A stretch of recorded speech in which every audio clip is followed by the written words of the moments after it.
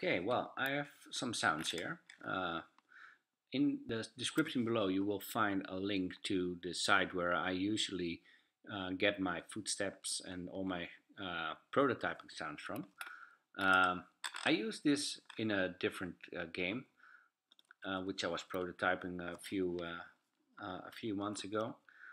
but I got the footsteps right here. So what we're gonna do, I'm gonna use these sounds, um, and you uh, can download your own sounds. So I'm going to create a new folder, sounds, and dragging in the footsteps. There we go. Now the sounds are pretty straightforward. Uh, footsteps, four different footsteps. So this is one, maybe not the best, but but still four sounds. What we're going to do, let's select the footsteps. Um, the clips aren't uh, compiled. Oh, we got an error, error here. Um, clips length.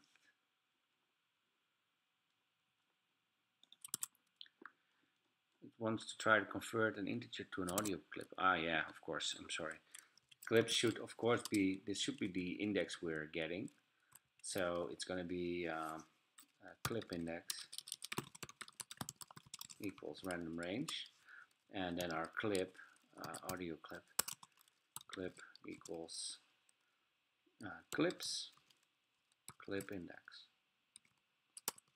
There we go. Now let's wait for it to compile. There we go. So we have a few clips. Uh, let's drag in those clips. If you if you uh, you can drag it on the on the uh, on the property name and it will simply add it. So we got four clips now, and let's make a, a delay between clips for um, so if we don't put in a delay, so if we put one, it will play the uh, random footstep sound every second. Uh, but let's make it uh, a little bit slower, maybe 0.3. And we're gonna time this with our uh, footsteps so that it matches our footstep speed.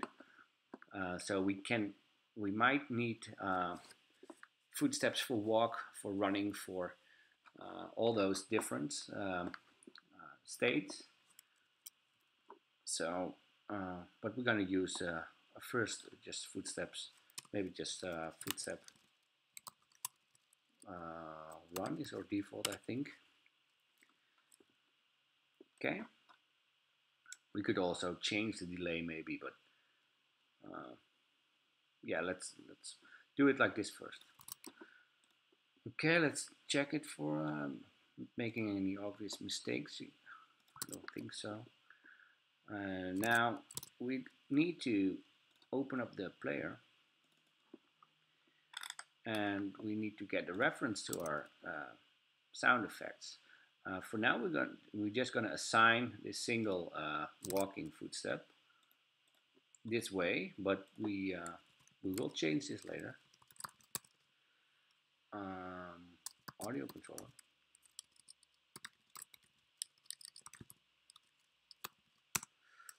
uh, footstep. There go. And now in our move, so if we are moving, uh, let's check here.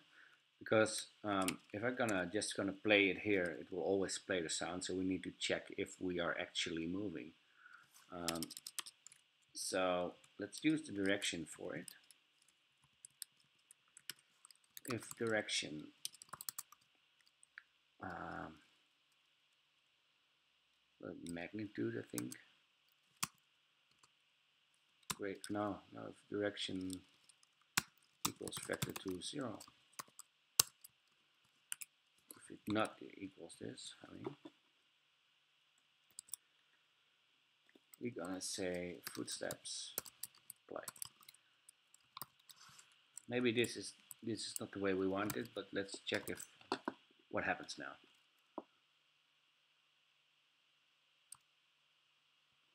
Oh yeah, I forgot to uh, assign it, of, course.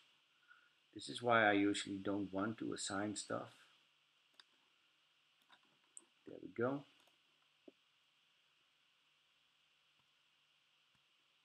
I'm not hearing anything. No, no, I'm not hearing anything. I'm not sure why. Um, let's make sure the audio is being played. Uh, print playing. Doesn't really matter that I'm making a typo. I just want to see if it hits it here. It goes here. And it will stop when I'm not walking. So that probably that works uh, the way I want.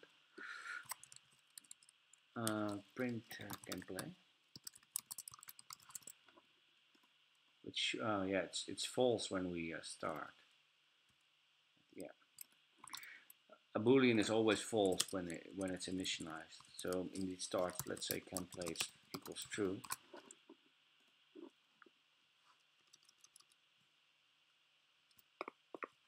There we go.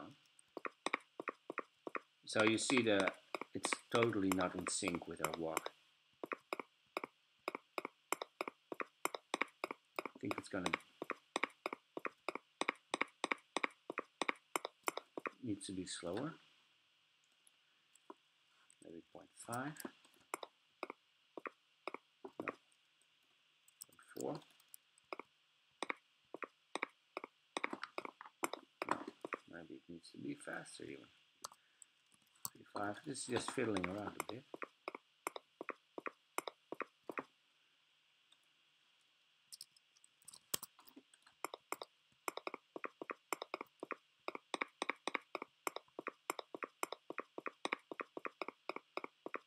Better. Not not entirely how I want it, but we could we are now uh, playing the sounds based on on the vector two if we're not even getting uh, if we are uh, giving input. But basically, we maybe we should try and check if we are uh, if we have moved uh, a certain amount of distance before we play the sound. We could do that as well let's make it a little bit less.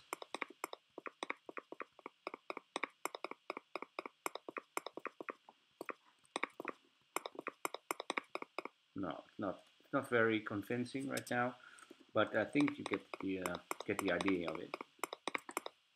So yeah, let's um, keep it like this for now.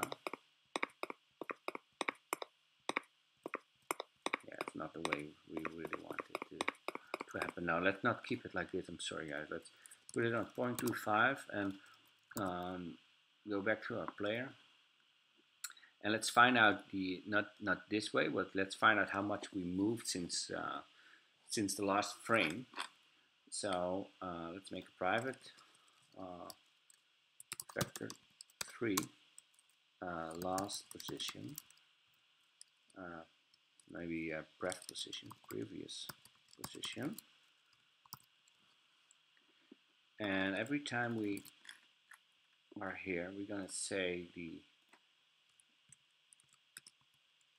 uh, by the end of the controller, of course. To say maybe we should move this to the move controller, but I'm keeping it here right now because I'm not entirely sure where I'm going. Uh, equals uh, transform position. So now when we will fall, it will also play the sound. Uh, so we work on that maybe later because we cannot really fall off stuff right now. Uh, with the previous position set, let's check the, um, let's move this down to here. So we first uh, move our player in the move controller. Then we're gonna check the length between the current uh, previous maybe vector 3 distance uh, transform position and the previous position uh, which will give us uh, a float which is the distance so if that distance is uh, greater than maybe our minimal move threshold. Then we're gonna play Minim minimum, minimal, minim minimum, whatever. Minimum move threshold. So let's assign this here as well for now. Um, yeah.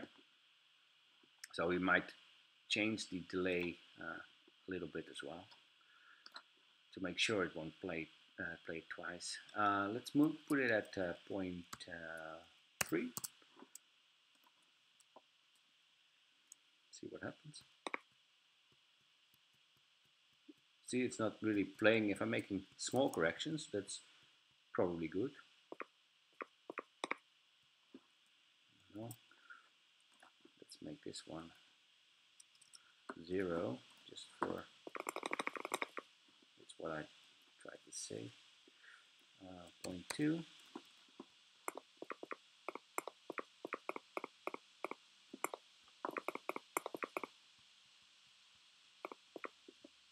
This a little, a little bit better. Uh, well, you can. I'm, I'm, sure you can uh, fiddle around with this until you've got it.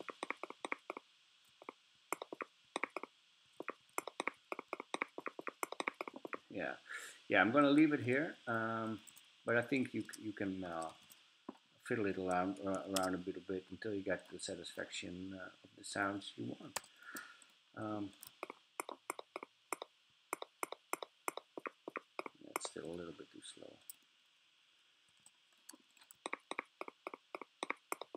I'm going to keep it like this.